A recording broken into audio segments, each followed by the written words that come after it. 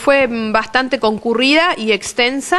Em, en primer lugar, eh, recibimos la visita de em, la directora del ITEC, eh, Cristina Basek, junto con su equipo de trabajo em, en el, plano administrativo, donde ella, bueno, ha encarado, digamos, una mm, campaña de difusión, que en realidad lo viene haciendo, de hecho a través de, vuestro medio, em, eh, la comunidad de Villa General Belgrano está recibiendo la información de las carreras que, han logrado.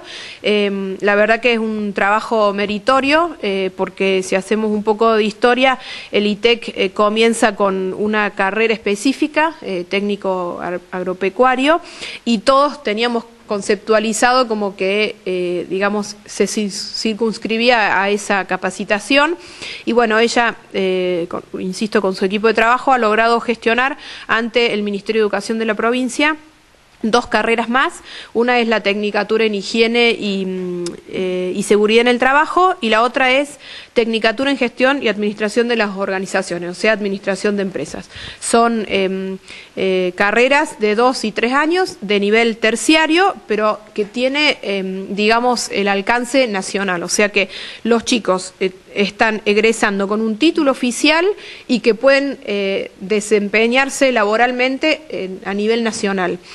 Eso para Villa General Belgrano y para el Valle de Calamuchita es importantísimo, eh, por varios aspectos, digamos, las situaciones han ido cambiando.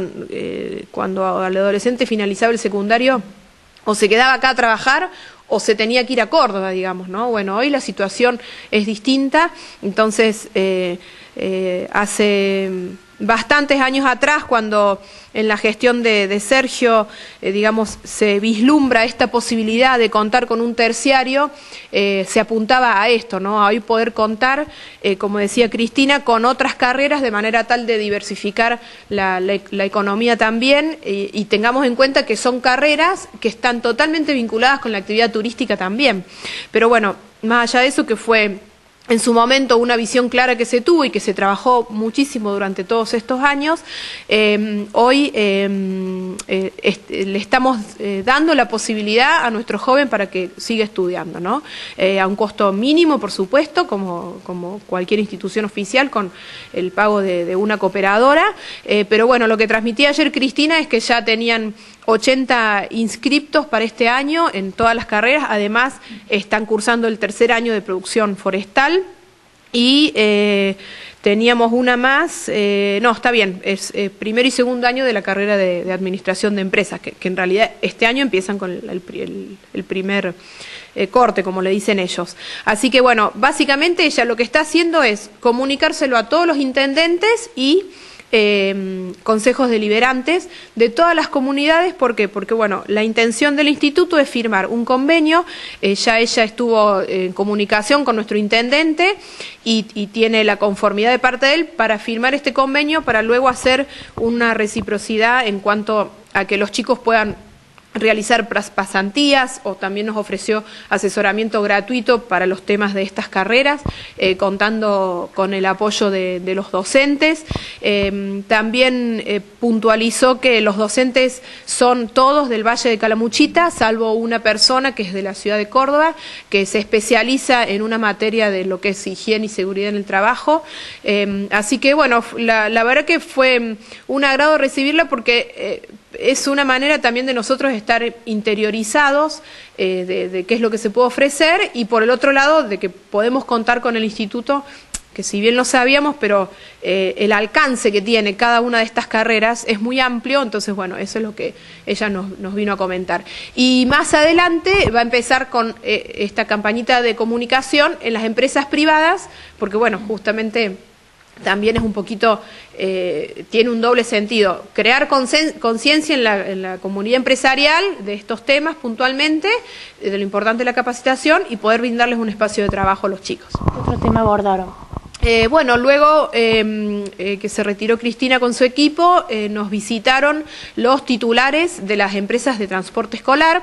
desde el año pasado, em, el Ejecutivo viene realizando controles, requerimientos, en función de que nosotros tomamos la, ordenanza que está vigente, hicimos algunas modificaciones y bueno, y automáticamente se traslada para que el Ejecutivo pueda trabajar con ellos. Entonces, puntualmente nos visitaron Mabel Ferreira, Charlie con su señora, con Mónica y Diana Leu, em, eh, con, la, con, dos objetivos. Eh, fundamentalmente ellos pedir, digamos, eh, mayor... colaboración, ¿no es cierto?, por parte del Consejo y por parte del em, Ejecutivo, puntualmente en lo que se refiere a em, tener la asistencia del área de tránsito para los horarios puntuales y, los, momentos en cada escuela, eh, porque bueno, hoy la situación es que hace falta mayor cartelería, porque lamentablemente em, los papás no tenemos conciencia de que ese espacio que está frente a la puerta de la escuela es exclusivamente para transporte escolar, porque realmente la responsabilidad que cae sobre ellos es muy amplia, porque no, no pueden cruzar la calle con cinco niños, sabemos lo que eso significa, sabemos el congestionamiento de tránsito que se produce en cada puerta de la escuela entre las 7 y las 8 y media, 7 y media, 8 y media y al mediodía o a la tarde cuando salen. Entonces, puntualmente han requerido puntualizar en, la cartelería, en el control de los inspectores y en hacer una campaña hacia la comunidad para que por favor respete esos espacios, ¿no? Eh, y bueno, y por el otro lado también ejercer control sobre em, dos o tres transportes que en realidad no están regularizados eh, y que se manejan o con vehículos particulares o con eh, vehículos, eh, digamos, los utilitarios que no están en condiciones. esto surge a partir de área de inspecciones que realiza una planilla donde establece eh, los requerimientos, o sea, traslada a los requerimientos de la ordenanza. ¿sí? Em, así que, bueno, también, por supuesto, eh, asumimos nosotros ese compromiso. además, fue importante que estaba presente em, el señor Pereira, que es el, jefe de inspectores, donde, eh, digamos, él también recibió y a su vez les transmitió a ellos. también lo que tiene que ver con eh, dos o tres puntos que cada uno, digamos, tiene que em, poner eh, en condiciones. Uno es el ITB, que mm, la, complicación que ellos tienen, que lo tienen que hacer en un día hábil en Córdoba. Entonces, bueno, nos pusimos de acuerdo en cuanto a plazos para que lo puedan hacer y para que ellos puedan coordinar em, para cubrirse, ¿no es cierto?, teniendo el consentimiento de los padres. Em, y, y, bueno, y entonces dos cosas puntuales en el, en el desarrollo de la actividad y en que la municipalidad, digamos, controle aquellos eh, eh, personas que están dando el servicio eh, y que, eh, que, no están legalmente inscritos. Entonces se va a comunicar el listado para que toda la comunidad y los papás sepan de quiénes son las empresas que hoy están en condiciones de trabajar. ¿Están organizando para comenzar a trabajar en comisión? Eh, sí, sí, porque ya empezamos la semana que viene, como siempre, como hacemos el año pasado, los lunes hacemos trabajo en comisión, donde recibimos profesionales o vecinos, previa, digamos, cita, por supuesto, y vamos a reiniciar eh, la atención al vecino los días viernes eh, de 13 a 15 como se hacía el año pasado, eh, por orden de llegada, digamos, para recibir cualquier inquietud, ya sea personalmente o por escrito. Em, y bueno, mañana? ¿Cómo? ¿Desde mañana? No, no, lo haríamos desde la semana que viene, en principio. así que bueno, como el año pasado, lunes y miércoles, sería el trabajo a partir de las 21 horas.